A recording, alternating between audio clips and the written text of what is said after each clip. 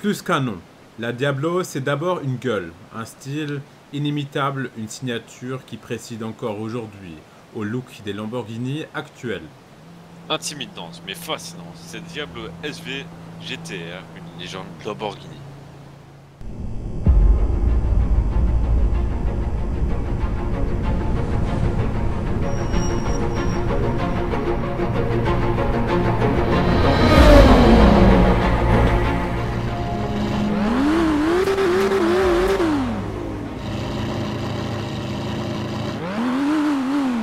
Diablo sort en 1990, le taureau de Santa Cada Bolognese voit grand, avec un engagement en Formule 1 et surtout le lancement d'une supercar qui doit non seulement remplacer la Mami Countach, sortie en 1974, mais aussi rivaliser avec les ennemis éternels de Maranello, les Ferrari F40 et Testarossa.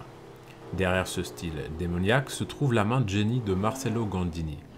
De toit et ceinture de caisse très basse, ligne de caisse plongeante, vers les ailes avant, porte en litre, capot moteur énorme pour loger le V12, la Diablo à bord une ligne à couper le souffle. Bestiale mais racée, comme le taureau de combat dont elle porte le nom. Une puissance incroyable pour l'époque, même sans transmission intégrale qui n'arrive que plus tard. La bête affiche tout de même 1600 kg à vide, soit 500 de plus qu'une F40. Elle atteint néanmoins 325 km à l'heure, ce qui lui permet à l'époque de prétendre au titre de voiture de série la plus rapide du monde. Surtout la Diablo est rustique. Là où la F40 est recourt massivement aux matériaux composites, elle conserve un châssis turbulaire en aluminium.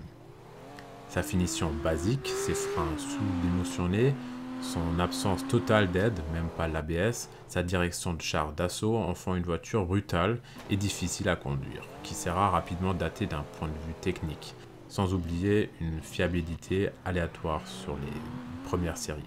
La Diablo VT de 93 viendra corriger ses soucis de jeunesse avec une transmission intégrale des freins Brembo renforcés et une suspension pilotée connue, ainsi que des améliorations fonctionnelles et de confort.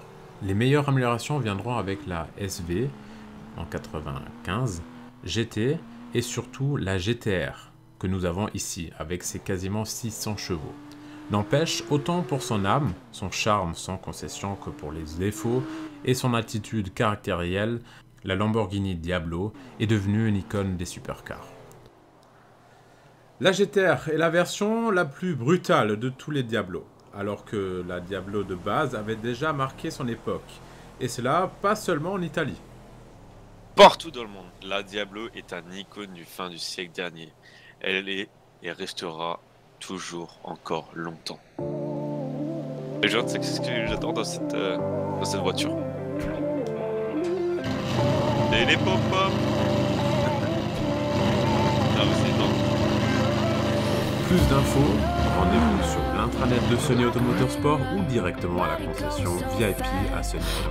Sur ce, bonne route à toutes et à tous et amusez-vous en pleine vitesse.